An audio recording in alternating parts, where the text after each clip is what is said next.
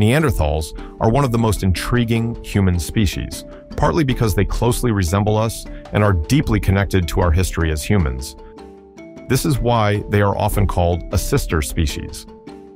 What's most fascinating is that although they are no longer here, a small portion of their DNA lives on in most people today, indicating that they and our ancestors had offspring together.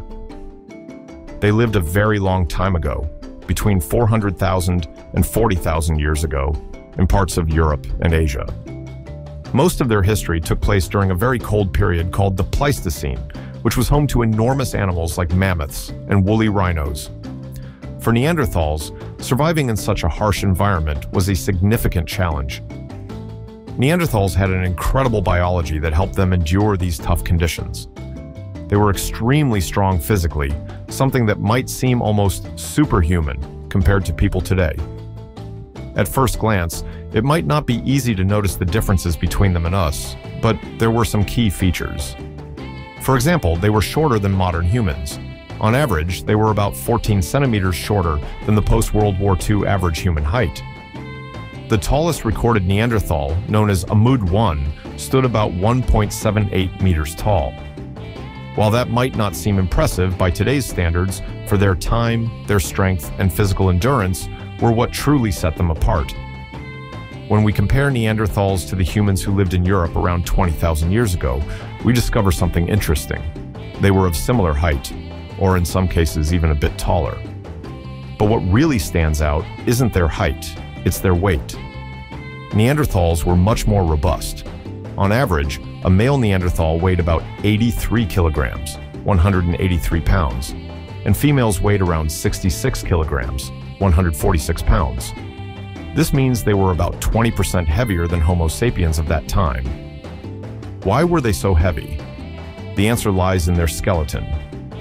Neanderthal bones were incredibly dense and thick, up to twice as strong as ours in some areas. Parts like the shoulders, chest, thighs, arms, and knees were particularly robust, showing that they had highly developed muscles. This great physical strength wasn't just a characteristic, it was a necessity for survival. Neanderthals were impressive hunters. They used their power to face off against massive animals like rhinos, horses, elephants, and even woolly mammoths.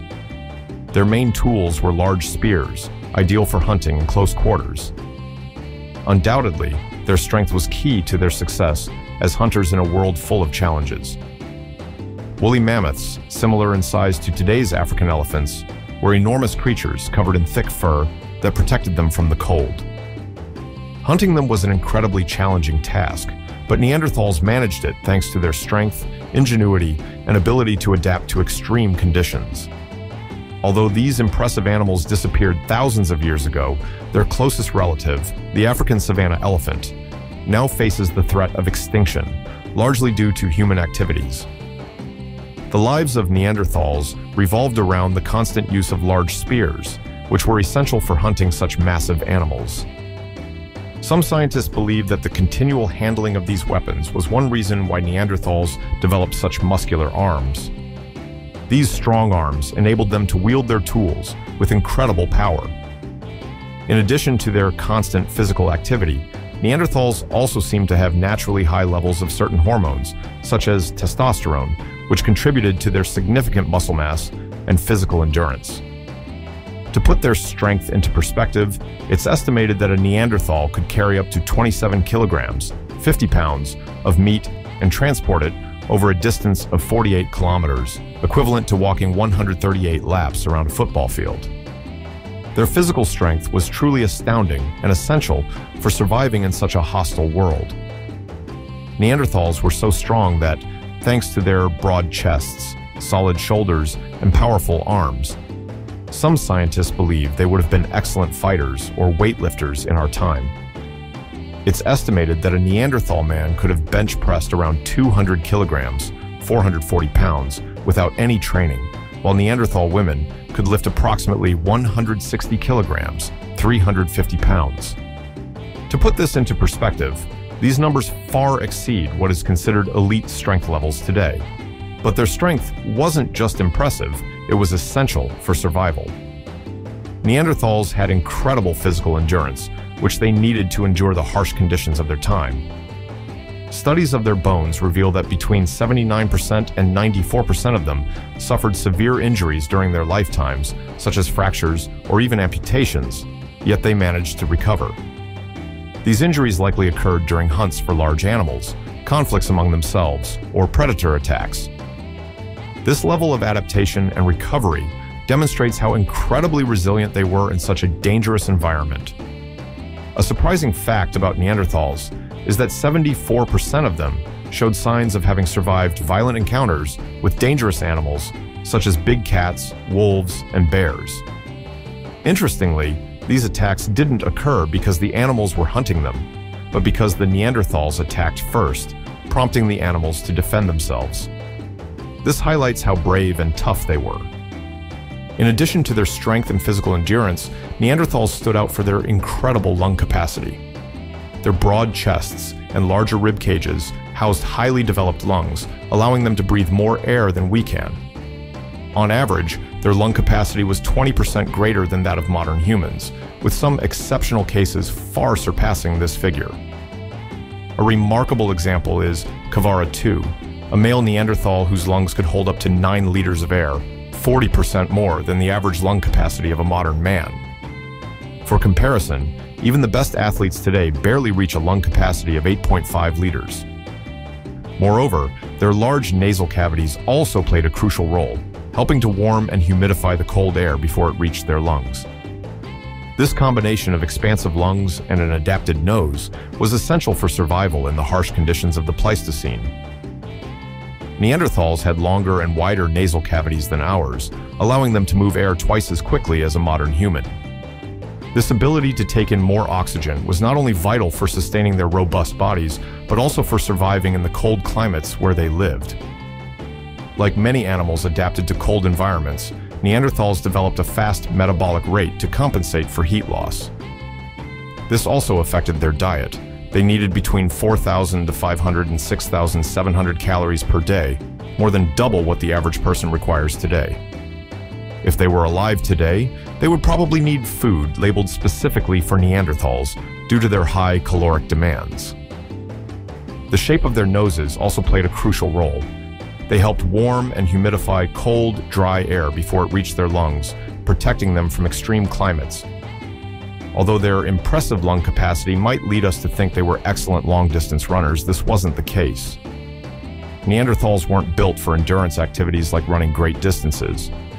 Instead, their bodies were optimized for bursts of strength and energy, ideal for ambush hunting and using their physical power to quickly take down large prey. Evidence of this can be found in the structure of their feet. Their toes were longer and wider than ours, giving them better ground contact and allowing them to generate more power at the start of a movement. This gave them a significant advantage in quick sprints. Additionally, their legs were shorter compared to modern humans. This is uncommon in endurance athletes, who typically have longer legs to take wider strides and cover more distance with less effort. Another important factor was the shape of their Achilles tendons, which were long and thin. This design is not efficient for storing the energy needed for long-distance running. In contrast, shorter, thicker tendons, like those of modern endurance athletes, are better suited for conserving energy during marathons or other prolonged activities. The key to their speed, however, was not just in their bones and tendons, but also in their muscle composition.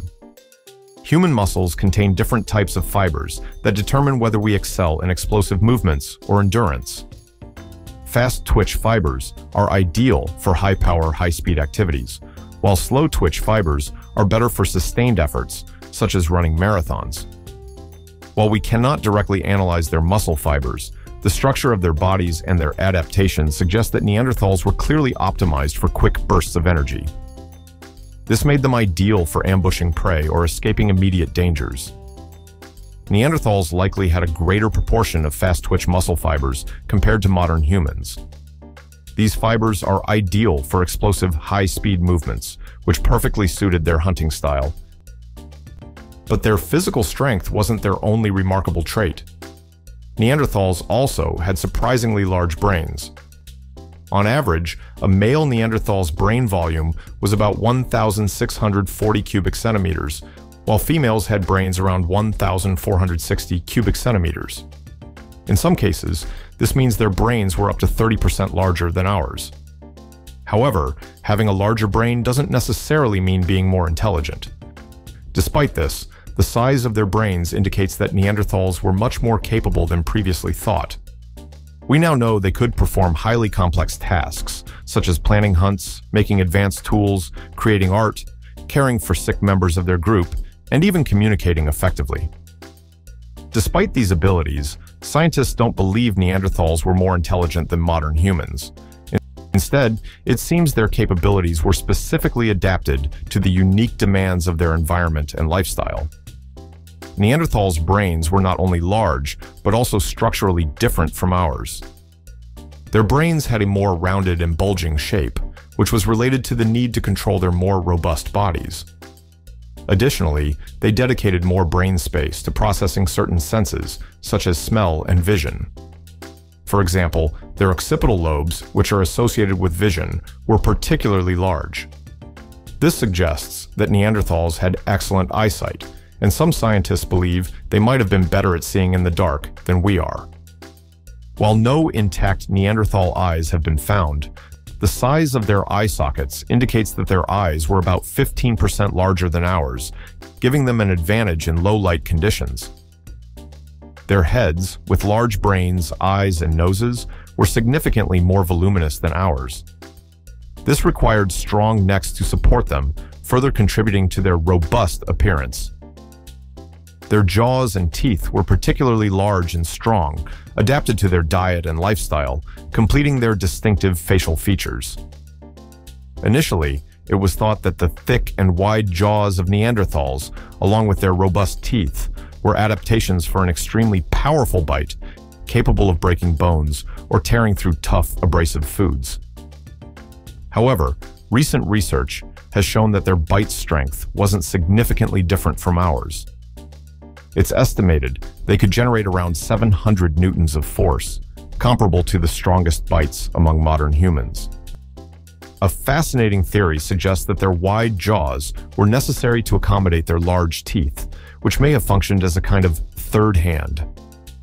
According to some researchers, Neanderthals used their teeth to hold and manipulate objects, allowing their hands to remain free for other tasks simultaneously. Evidence supporting this idea comes from the wear patterns observed on their front teeth. This wear doesn't match typical chewing patterns, but instead suggests they frequently use their teeth to grip or hold objects. Neanderthals were what we call hypercarnivores, as around 70% of their daily calories came exclusively from meat. They relied heavily on hunting for survival, reflecting their impressive capabilities as hunters. However, Neanderthals disappeared about 40,000 years ago, and their extinction remains a fascinating topic for scientists. It wasn't caused by a single event, but by a combination of factors that together led to the end of this human species. One of the most significant factors was the arrival of Homo sapiens in Europe and Asia, territories where Neanderthals had lived for thousands of years. Homo sapiens, originally from Africa, began expanding into these regions, and this encounter between the two species changed history forever. Homo sapiens had several advantages that made them more adaptable. For example, their tools were more advanced and crafted with greater precision and specialization. This allowed them to hunt more efficiently and adapt better to various environments. Another major advantage was their ability to create proper clothing, as evidenced by the discovery of bone needles. This allowed them to survive in extremely cold climates, something Neanderthals could not do as effectively. The combination of these skills, along with other factors, made the difference in the struggle for survival. In addition to having advanced tools, Homo sapiens appeared to have a more organized social life. They lived in larger groups and had more effective cooperation networks. This helped them share knowledge, distribute resources, and better protect themselves from environmental dangers. During the Pleistocene, Earth's climate fluctuated between periods of intense cold, glaciations, and warmer periods, interglaciations. About 40,000 years ago, temperatures dropped sharply again, posing a significant challenge for Neanderthals, who were already accustomed to cold climates, but now faced new problems. The cooling reduced the availability of resources, as many of the large animals they hunted, such as mammoths and woolly rhinos, declined in number or migrated to warmer regions. Homo sapiens, on the other hand, had a more diverse diet that included plants, seafood, and smaller animals. This gave them an advantage in adaptability and survival during these climatic changes. Although Neanderthals were highly skilled hunters and toolmakers, their heavy reliance on hunting large prey made them more vulnerable when those resources became scarce. On the other hand, interactions between Neanderthals and Homo sapiens weren't always competitive. We now know that the two species interbred, leading to genetic exchange. This legacy still lives on, as many people today carry a small percentage of Neanderthal DNA. This shows that, although Neanderthals disappeared as a species, they left a lasting genetic imprint on humanity. Today, it is estimated that between 1% and 2% of the DNA in modern humans of non-African descent comes from Neanderthals. This indicates that Neanderthals didn't vanish entirely. Rather, part of them merged with Homo sapiens through hybridization. Instead of a violent extinction, it seems that some Neanderthals integrated into human communities, leaving behind a genetic legacy that lives on in us. However, even before the arrival of Homo sapiens, Neanderthal populations were already in decline. One of the main reasons was the loss of genetic diversity, a common occurrence in declining species. This made them more vulnerable to diseases, environmental changes, and other stressors, reducing their ability to adapt to new conditions. Another factor that may have contributed to their disappearance was the potential transmission of diseases, Homo sapiens, originating from Africa, likely brought pathogens to which Neanderthals had no immunity, potentially devastating their already small and fragmented populations. Additionally, natural catastrophic events played a significant role. One example is the eruption of the Campi Flegrei supervolcano in Italy, which occurred around 39,000 years ago. This event likely caused a sudden cooling of Europe's climate, further impacting Neanderthals and accelerating their extinction. The eruption of the Campi Flegrei supervolcano was a catastrophic volcanic event that released massive amounts of ash into the atmosphere. This ash blocked sunlight and caused a volcanic winter, a period of extreme cold that would have further complicated the already challenging survival of Neanderthals. Now, you might wonder, if you have Neanderthal DNA, does that mean you have super strength or a strong preference for eating meat? The truth is, no. So far, most studies have not found that Neanderthal DNA significantly impacts our physical abilities or appearance. Its effects seem to be quite subtle. However, recent research suggests that this DNA may have influenced our internal systems, such as the immune system, more than previously thought. Despite this, many studies on the subject yield conflicting results, and scientists don't fully agree on how much Neanderthal DNA affects modern humans. What is undeniable is that Neanderthals were an incredibly fascinating species, and their legacy, although small, remains a part of us. Their story connects us to a distant past filled with extraordinary challenges and adaptations. Click on the video on the screen to continue learning more with our content. See you in the next video.